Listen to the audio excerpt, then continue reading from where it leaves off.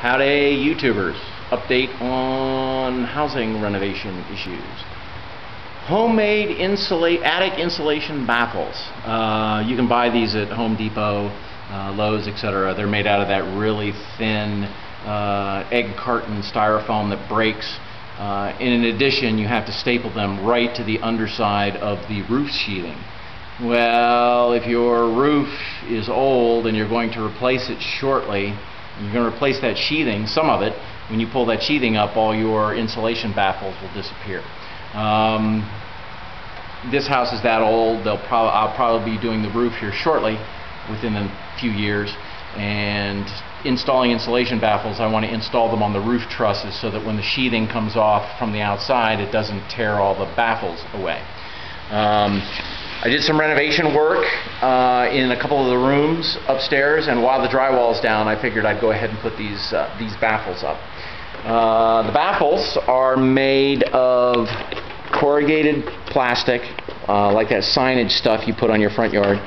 This is inch and a half foam that's been run through the table saw to make a standoff, uh, so there's a gap between the roof sheathing uh, that allows the, the ventilation to happen. These mounting tabs on the side are made up of deck flashing, vinyl deck flashing, uh, like this. And they're bent, they're bent, the nice angle is put on them on the bending brake. The corrugated plastic, the standoff, and the vinyl flashing is held in place by staples and the staples are actually homemade. These are the big staples that hold the uh, um, the, the standoff on the backside, and these are the small staples that hold together the uh, that hold together the uh, the mounting tab vinyl and the corrugated plastic. These are just made with uh, wooden jigs uh, that you can build from scrap wood and uh, C-clamps, so they're not that complicated. This is actually just bent over uh, a 2x4 right there, uh, inch and a half by inch and a half, and I do believe these are a little bit longer than that, probably two or something like that, so that they can be felt, fold, folded under uh, to create, to hold the standoff in place. Now there's another part of this too, which is the part that goes up next to the, uh, the, the soffit vent. Um, and the reason that I went ahead and did this is because uh, this particular house has virtually no eave.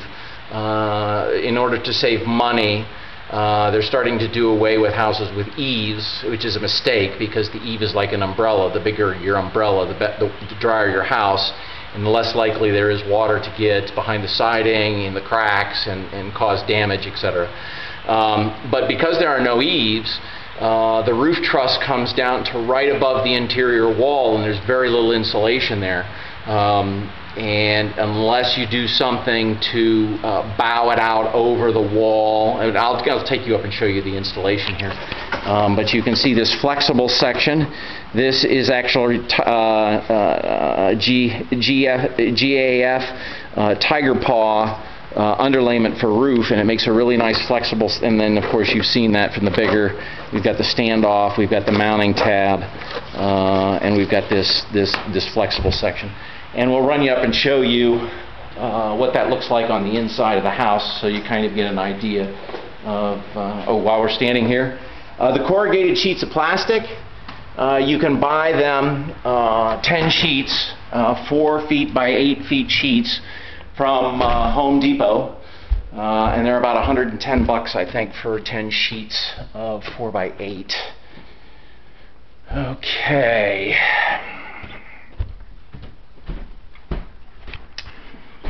Up in the room. Now you can see why the flexible section is necessary because it goes in atop of the roof and it will hold the insulation. Eventually there'll be drywall.